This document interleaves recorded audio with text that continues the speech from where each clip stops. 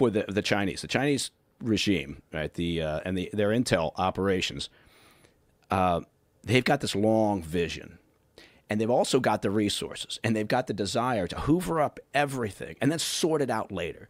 We take as as as a country, we take a very sort of targeted approach. We say, okay, this is a piece of information that's a priority tasking for the U.S. for our national security. We're going to go out. We're going to figure out who has access to it. We're going to develop a very sort of surgical strike to figure out how do we get to somebody who's got this piece of information.